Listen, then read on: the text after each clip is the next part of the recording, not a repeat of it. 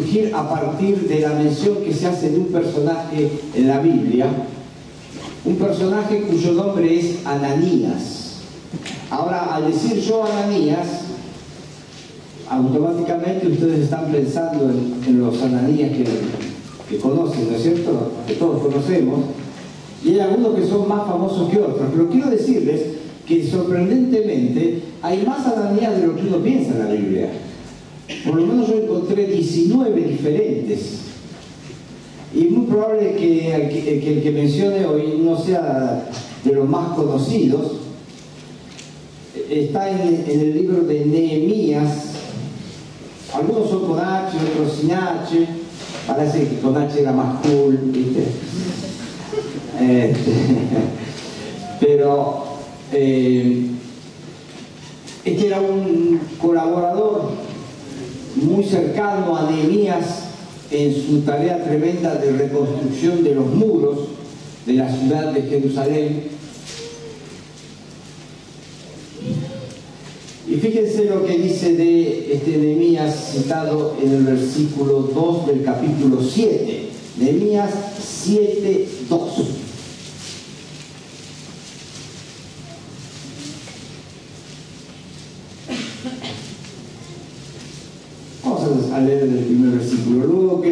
Edificado y colocadas las puertas y fueron señalados porteros, cantores y levitas, mandé a mi hermano Anani y a Ananías, ven ahí está, jefe de la fortaleza de Jerusalén, y observe cómo Nehemías define a este colaborador suyo, Ananías, porque este era hombre de verdad temeroso de Dios más que muchos. Ananías era un hombre de verdad, temeroso de Dios más que muchos. La Biblia de Jerusalén, en lugar de decir más que muchos, dice temeroso de Dios como pocos, como pocos.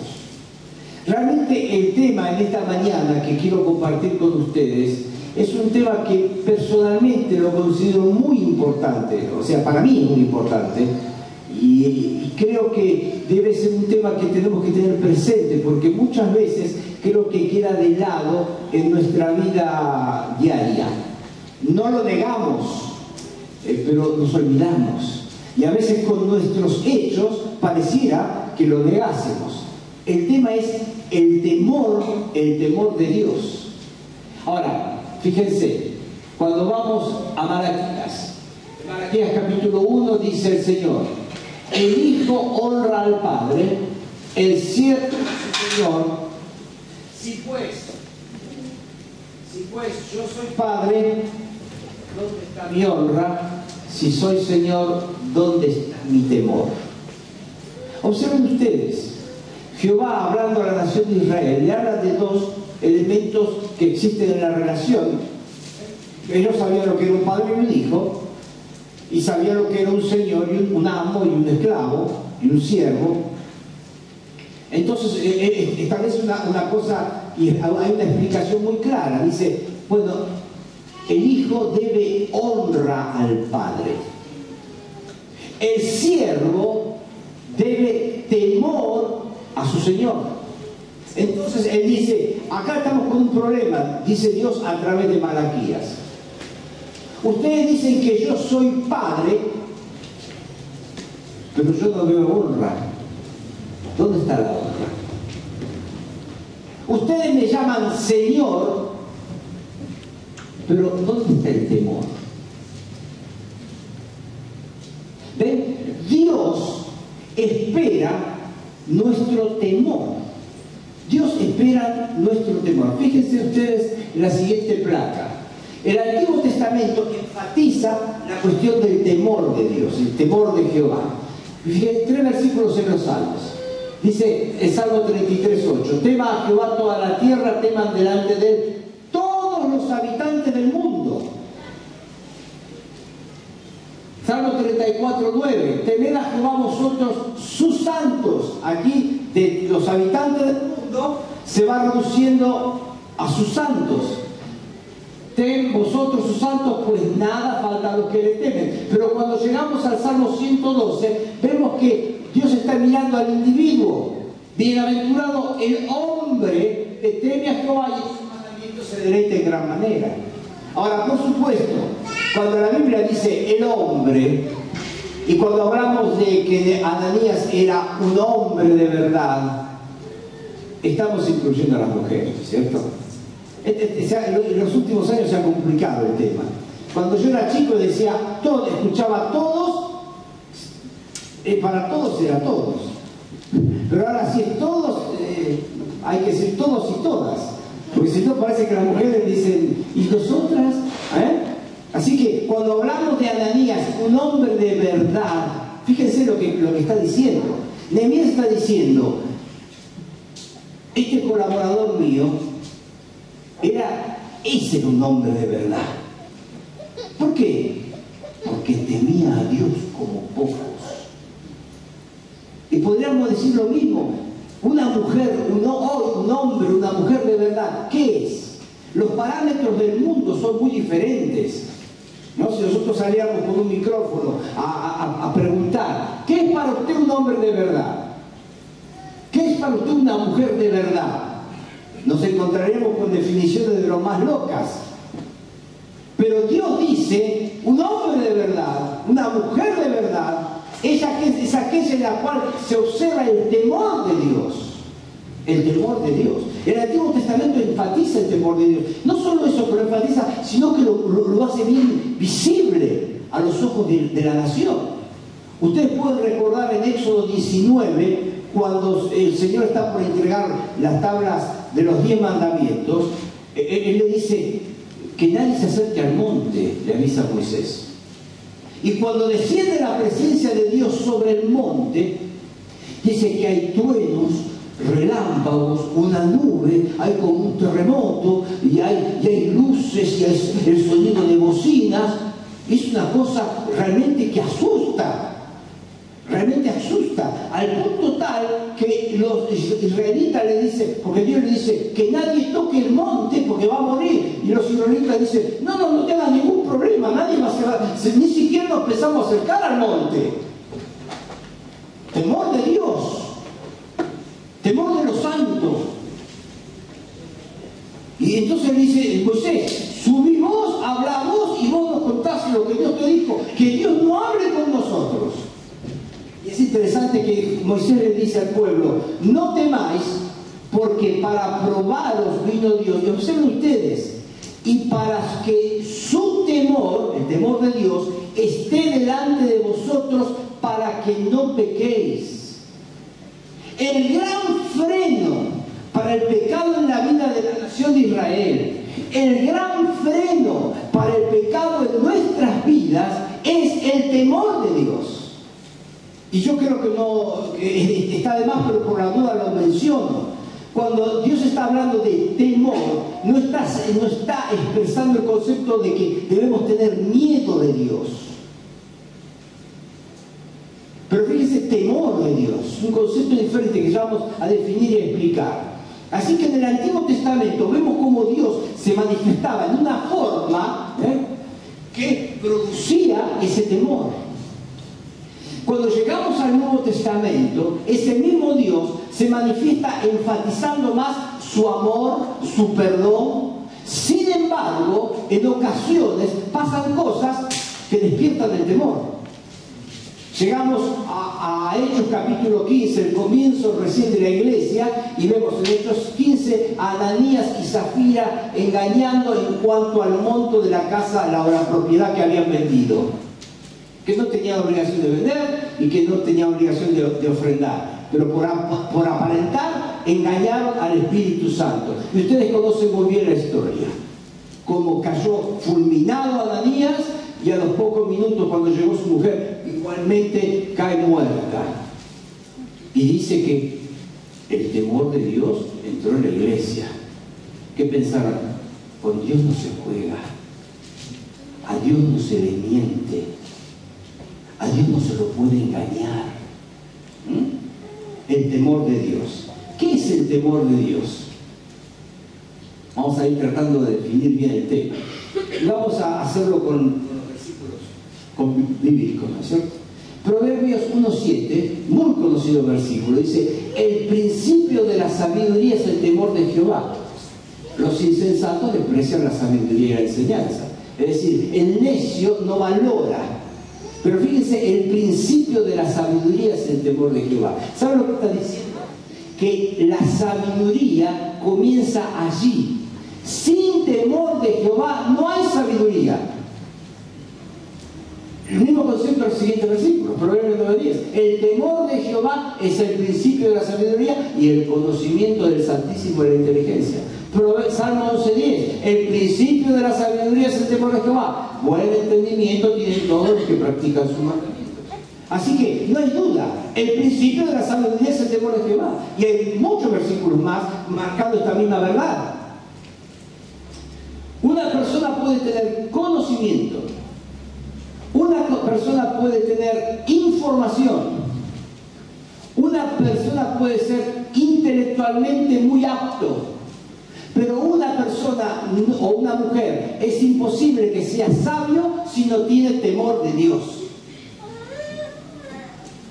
¿Eh?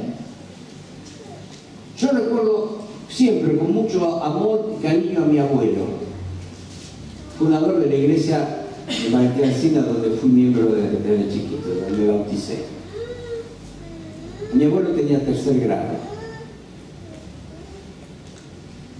En aquella época, imagínate, él habrá nacido fines del siglo XIX. terminar la escuela era para terminar la escuela primaria era para algunos. Tercer grado. Y lo que había aprendido prácticamente había sido de por sí mismo. Ahora vos podías escucharlo leer la Biblia, vos podías verlo en un púlpito predicando, y podías ver cómo él se manejaba en la vida y veías un hombre sabio. Y hoy en el día, en el día de hoy poder ver quizás a veces personas que tienen muchos títulos de los hombres, pero como le dije, puede ser información, inteligencia, pero no hay sabiduría fíjense, ahí Warren Wiersbe, un, escritor de muchos libros de la Biblia, perdón, de muchos comentarios sobre el Biblia, eh, especialmente aquellos hace algunos años usted puede ser, usted puede ser, usted puede ser, ¿eh? sobre casi todos los libros de la Biblia. Warren Wiersbe fue definiendo una vez lo que era el temor de Dios y esa es su definición. Nosotros, y examinémonos a la luz de esta definición, nosotros realmente tenemos a Dios cuando reconocemos desde lo más profundo de, nuestro corazón que, primero, Él es el creador y nosotros las criaturas. Muchas veces tenemos que bajarnos el caballo, ¿eh? Esto no cambia. El hecho que un día el Señor nos ha salvado, somos, estamos, somos, en la, familia de Dios, somos hijos de Dios, el, Cristo murió por nosotros, todas esas verdades sublimes no cambian la verdad de que Él es el creador. Él es el padre y nosotros sus hijos.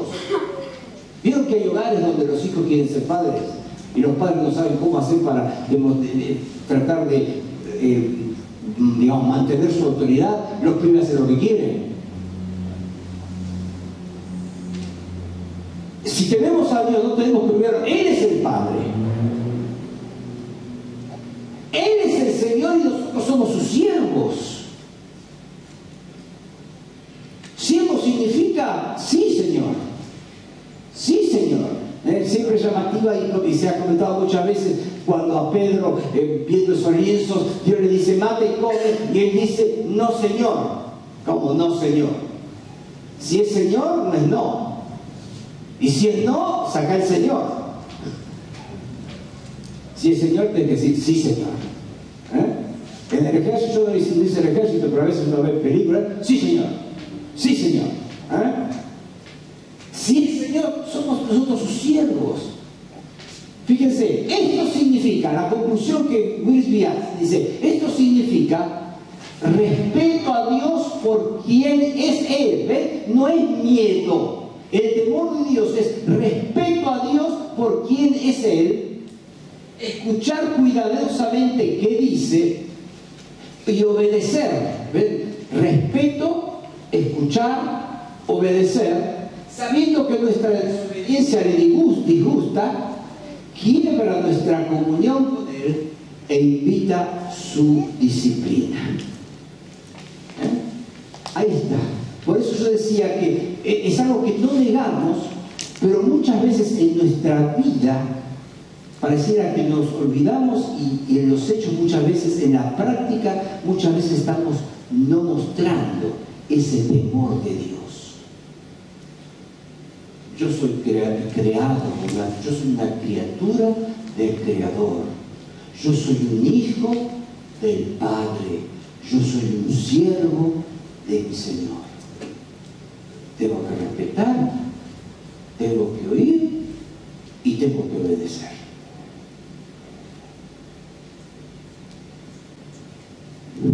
¿Quién teme a Dios? Es bueno, el que teme a Dios obedece las escrituras, obedece la palabra de Dios. Examinémonos. ¿eh? lo bueno de este examen es que eh, no hay que presentar una hoja, sino que es un examen en el cual cada uno de nosotros nos podemos poner nuestro, nuestra evaluación. Primero, ¿temo a Dios? O si temo a Dios, tengo que obedecer las escrituras. Yo voy a poner acá unas referencias, no, voy a leerlas todas, pero obediencia parcial es desobediencia. Y finalmente Saúl tuvo que reconocerlo, le dice ahí en la cita que le pidió a Samuel, yo he pecado pues he quebrantado el mandamiento de Jehová y tus palabras porque temía al pueblo. ¿Ven? Saúl tuvo más temor del pueblo que de Dios. Y a veces, y, eso condicionó su conducta. Y muchas veces el creyente, por temor a la burla, por temor a, la discriminación, por temor al que dirán, tiene más temor a lo que opina el vecino a, a lo que dice Dios. Temía al pueblo y consentí la voz de ellos. Perdona ahora mi pecado y vuelve conmigo para que adore Jehová. Y Samuel le dijo, no volveré contigo, porque desechaste la palabra de Jehová, ¿eh? no temiste a Dios, no obedeciste la palabra, y Jehová te ha desechado para que no seas rey sobre Israel. Y aunque fue rey varios años más, Dios ya le había desechado. ¿Por qué? Porque no tuvo temor de Dios, porque no obedeció las escrituras. En el Salmo 119 dice, ¿con qué limpiará el joven su camino?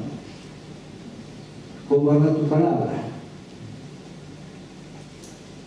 Y, en el mismo Salmo el salmista dice en, el resto del versículo, con todo mi corazón te he buscado, no me dejes desviarme de tus mandamientos, en mi corazón he guardado tus dichos, dice el versículo 11, para no pecar contra ti. O sea, él hace una pregunta, ¿con qué limpiará? Responde, con guardar. Pero él hace un examen y él dice, en mi corazón he guardado tus dichos. Un buen ejemplo de salmista. En el caso de Josué 1.8, ustedes pueden recordar la clave del éxito para Josué. Cuando él comienza a hacer su ministerio, Dios le dice, nunca se apartará de tu boca este libro de la ley, sino que de día y de noche meditarás en él, para que guardes y hagas conforme a todo lo que en él está escrito, porque entonces harás prosperar tu camino y todo te saldrá bien. ¿Quién quiere que en la vida todo le salga mal? Pero hay requisitos. El hombre que teme a Dios busca, llama la bendición de Dios, obedeciendo las escrituras.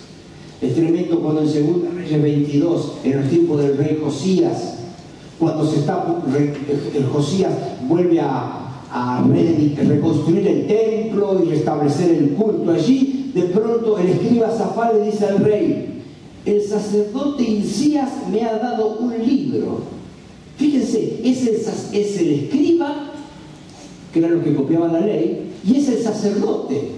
Y el, sacerdote, el, escriba le dice al rey, el sacerdote me dio un libro, un libro. Y Josías lo empieza a leer. Y cuando el rey hubo oído las palabras del libro de la ley, rasgó sus vestidos. Era el libro de Dios, era la palabra de Dios. Y el escriba ni sabía. Oh, rey Josías, ¿qué pasa? Encontrar un libro, encontrar un libro. Léalo a ver qué es este libro. Y Josías rasgó sus vestiduras, porque se dio cuenta al escuchar la palabra de Dios cuán lejos estaba el hombre que teme a Dios, obedece las escrituras. Y es impresionante cuando Nehemías en el capítulo 8 eh, hace una obra tremenda, Nehemías. Los muros son reconstruidos en poco tiempo. Aunque los enemigos decían que se iban a venir abajo, venir abajo enseguida, los muros fueron terminados. Pero Nehemías sabía algo. Tenemos que, tengo que hacer algo porque si no en pocos años nuevamente Jerusalén va a ser destruida y estos muros que acabamos de construir van a ser otra vez derribados. Y cuando llegamos al capítulo 8, versículo 1 y 3 dice, se juntó todo el pueblo como un solo hombre en la plaza que está delante de la puerta de las aguas y dijeron a Esdras el escriba que trajese el libro de la ley de Moisés, el cual Jehová había dado a Israel.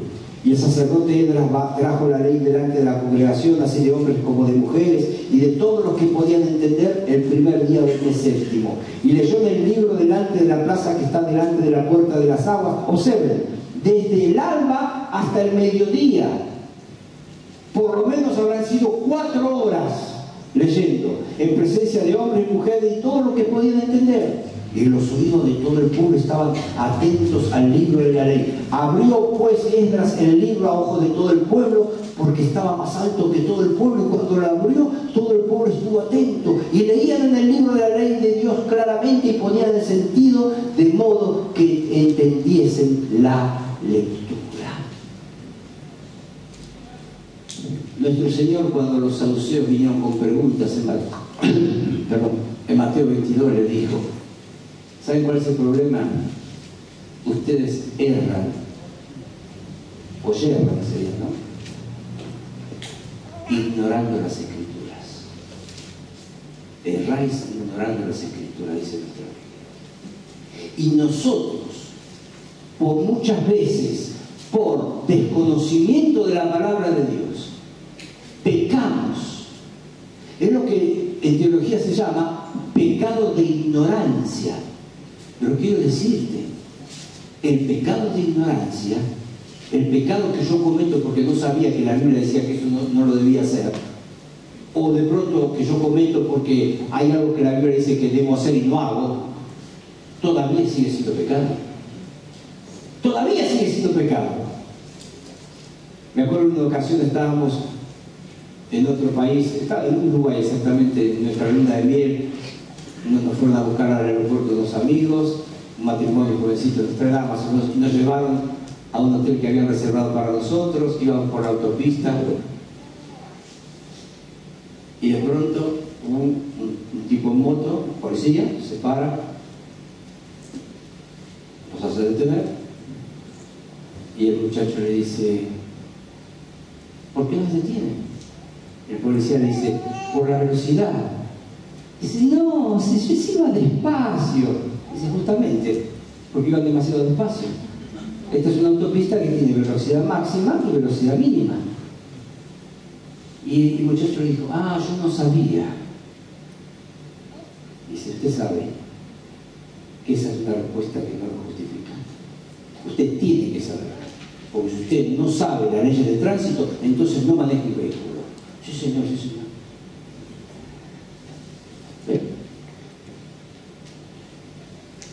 Quien teme a Dios obedece las escrituras. Para obedecerlas debemos conocer. Fíjense lo que dijo Moody, el gran evangelista. De acuerdo, de acuerdo, a las palabras del Salmo 119, ¿no? ¿Con qué limpiarás como su camino? Él dijo, este libro te alejará del el pecado, o el pecado te alejará de este libro. Ustedes no van a ver un creyente que esté alejándose del Señor, un creyente viviendo en pecado, que todos los días esté pasando tiempo con la palabra de Dios. Porque no, no, no, no, no, combinan, ¿eh? es como agua y aceite. Salmo 119, 5 dice, lámpara es a mis pies tu palabra y lumbrera a mi camino. Lámpara es a mis pies tu palabra. Seguimos, vamos rapidito. quien teme a Dios anhela la santidad. Yo pongo ahí para que, ah, perdón, pongo ahí para que ustedes puedan tomar nota, pero así voy rapidito en este aspecto. Quien teme a Dios anhela la santidad. En, Salmo, en 1 Tesalonicenses 4, 7 dice que Dios no nos, no nos ha llamado a inmundicia, sino a santificación. Juan 17, 17, en su oración nuestro Señor dice, santifícalos en tu verdad, tu palabra es verdad. Y en Efesios 1.4 dice que el Señor nos escogió en Él antes de la fundación del mundo para que fuésemos santos y sin mancha delante de Él. ¿Ven? El propósito de Dios. Si yo a Dios, no puedo cumplir mis propósitos en mi vida. Tengo que buscar y cumplir los suyos. Y aquí encuentro que en una forma general, yo sé que hay una voluntad específica. Dios tuvo algunas cosas para mi vida que no la tiene para algunos de ustedes, y podríamos decirlo al revés, ¿no es cierto? Pero hay otros, otros aspectos que son la voluntad general de Dios. Por ejemplo, lo que estamos mencionando. Dios espera de cada creyente santificación. Dios espera de cada creyente vivir Cuando yo me permito desobedecer el plan, el propósito de Dios para mi vida, cuando yo me permito pensar en la santidad como una forma de vida para algunos creyentes, preparada por Dios para los, algunos misioneros, eh, pastores, evangelistas, grandes hombres de Dios, y no pensando en cada uno de los miembros del cuerpo de Cristo, me estoy comportando como alguien que no teme a Dios.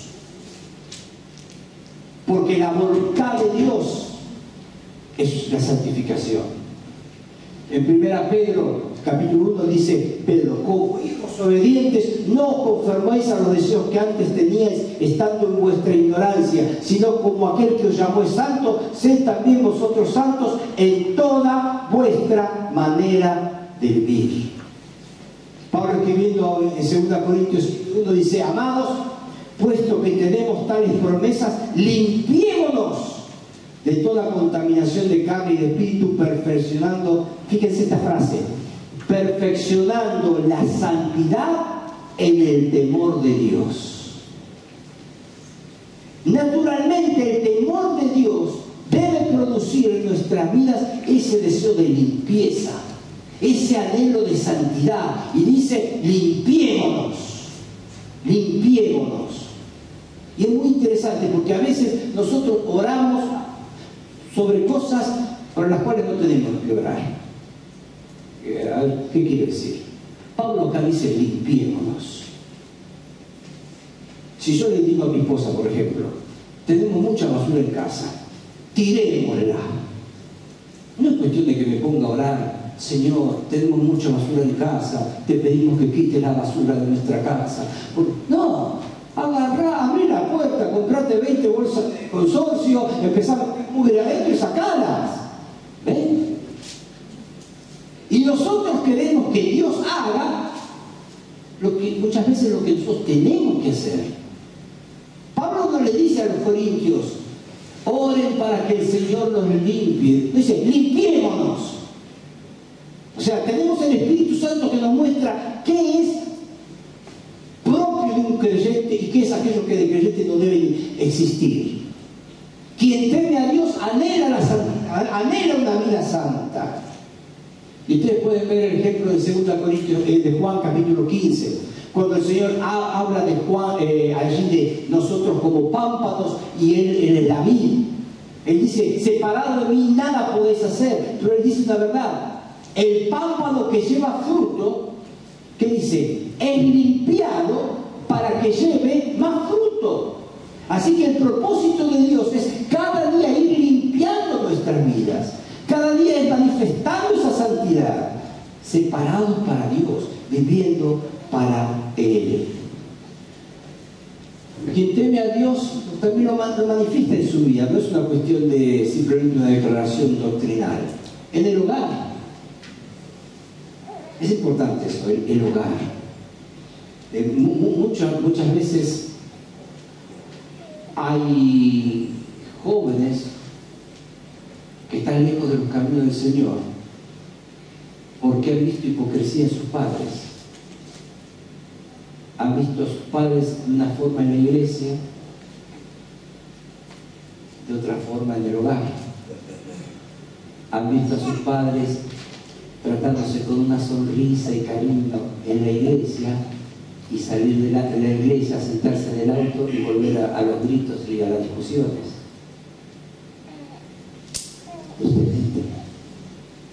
Esposos, someteos unos a otros en el temor de Dios, dice Efesios 5, Y a veces a los hombres nos gusta el versículo 22.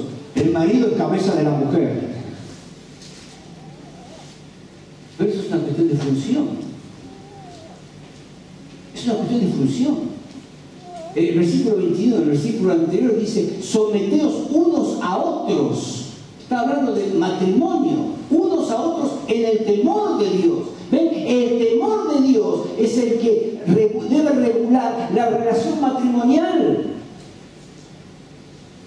Es, tremendo. Cuando yo, por ejemplo, hablando, he salteado un poco, pero cuando hablábamos del hecho de obedecer las escrituras, si yo no obedezco la escritura porque ni siquiera por ahí la conozco, mi hogar, ¿en base a qué se va a formar?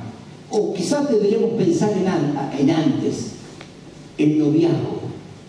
Jóvenes, acá hay muchos jóvenes, es lindo ver muchos jóvenes. ¿Cuáles son sus pautas para un noviazgo? Fíjense que la voluntad, el que tiene a Dios, obedece la palabra, pero el que teme a Dios anhela la santidad y lo muestra en su vida. ¿Qué dice el mundo? El mundo dice que los novios tienen que practicar todo para estar seguros que después cuando se casen se lleven bien. Eso es lo que dice el mundo. Pero no es lo que dice Dios. Lo quiero decirles con mucha tristeza, a causa de que muchos jóvenes tienen su Biblia cerrada y que su conducta y sus pensamientos, sus principios no son formados de una forma bíblica, muchos jóvenes cristianos tienen noviazgo, no como enseña la Biblia, en pureza, sino que tienen noviazgo como el mundo dice. Y en cuanto al matrimonio, exactamente lo mismo. Ah, no, no, el tema ese de la sujeción de la mujer, sumisión, son cosas de la época de Pablo. Entonces el, hogar se forma según el psicólogo o el pensador o el comunicador de moda manifiesta en sus libros, no según dice la palabra de Dios. Y eso es trágico. Fíjense qué diferente en cuanto a los hijos. Dice, en el temor de Jehová, en el temor de Jehová está la fuerte confianza y, y esperanza tendrán sus cómo necesita la sociedad el testimonio de hogares fuertes, fuertes, que resistan frente a las tormentas que hay en la vida. El Señor en Mateo 7 habló, ¿no es cierto?, de que eh, de aquella casa construida sobre la roca.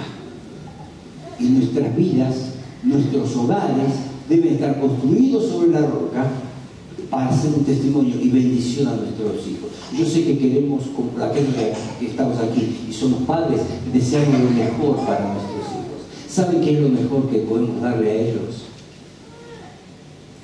Un padre y una madre que ellos nos observen que temen a Dios. Porque dice la Biblia, si mamá y papá temen a Dios, esos pibes tienen esperanza. Pero si se criaron en la hipocresía, en la religiosidad simplemente, pobrecitos. Seguimos. En la sociedad, acá hay una serie de versículos. No, no, los voy a leer, no los voy a todos, pero algunos. Por ejemplo, el 19-14 es genial. Yo me reía cuando lo, encontré. Dice, no maldecirás al sordo. y delante del ciego no pondrás tropiezo sino que tendrás temor de tu Dios. La verdad que, viste, el tipo sordo, hacerle bromas a un sordo suena muy, muy común muy divertido, ¿no? Yo recuerdo en la escuela secundaria, tenía en segundo año un profesor que era sordo, daba con su audífono ahí colgado del saco. Y cuando teníamos el horario de su clase, justamente en la cuarta hora de la tarde se bajaba la bandera en la escuela, pero en un momento donde se escuchaba una música en todo el establecimiento, y mientras algunos alumnos lo bajaban, eran, eran unos segundos que se suspendía la clase, todos nos parábamos, de una forma respetuosa, mientras se bajaba la bandera, se terminaba el sonido, nos sentábamos y continuaba la clase. Entonces la diversión, cuando teníamos al pobre sordo, que era uno en el fondo,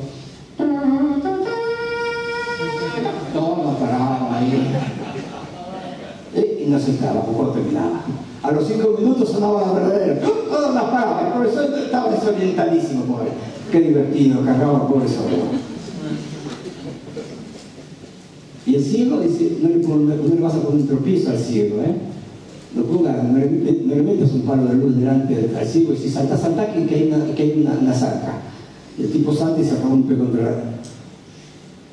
El temor de Dios en las cosas de todos los días.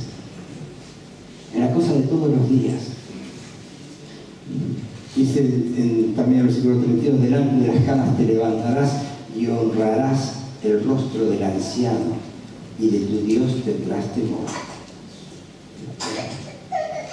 El Levítico 25 dice, no engañe ninguno a su prójimo, sino temed a vuestro Dios. En segunda crónica 19 dice, sea pues con vosotros el temor de Jehová, mirad lo que hacéis, porque con Jehová nuestro Dios no hay injusticia.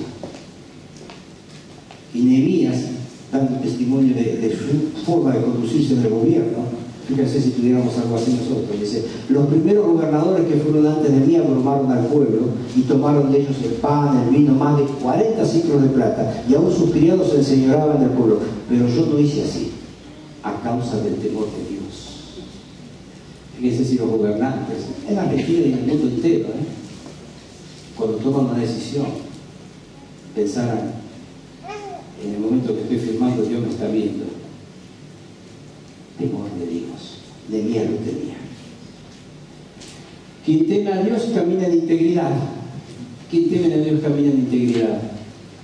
Dice Proverbio 27, camina en su integridad el justo, sus hijos son dichosos de ¿Ven? El ejemplo de un padre íntegro. Ahora, ¿qué es íntegro? Es algo completo por ejemplo, en Job 31, cuando termina las palabras de Job, el, libro dice, nuestro libro dice, y aquí terminan las palabras de... Ahí dice, fueron, la misma palabra que se traduce muchas veces íntegra, es decir, aquí se completaron. Es algo que no tiene, que no le falta nada.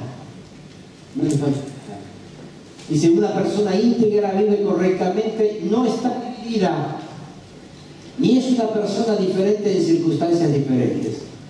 Fíjense qué lindo examen. Una persona íntegra es la misma persona en privado y en público. Claro, es relativamente fácil ser una persona íntegra cuando estoy en público. El tema cuando estoy solo. El campamento de un predicador hace un par de años dio este ejemplo, dice, le, preguntó a los jóvenes, ¿usted quiere saber si, si son íntegros? ¿Son jóvenes íntegros? Muy sencillo. Yo los llevo a una ciudad donde nadie los conozco, nadie los conoce, y les lleno el bolsillo de plata. ¿Cómo se van a comportar? Nadie los conoce y tienen mucha plata. ¿Qué van a hacer? Y él decía, lo que hagan va a determinar, va a mostrar si son o no son íntegros. Lo que hacemos en público, lo que hacemos en privado. No debe haber, por ejemplo, la, moneda tiene dos caras, ¿no? Son diferentes. Mm, el creyente no debe tener dos caras. Una cara en la iglesia, una cara de domingo, una actitud de domingo, una actitud del resto de la semana. Una actitud en el trabajo, una actitud en el hogar.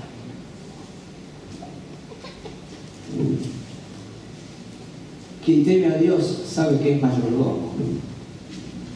Un mayordomo es simplemente un administrador, no es dueño de nada. Es administra. Dice 1 Corintios 4.2 que se requiere de todos los administradores que cada uno sea hallado fiel.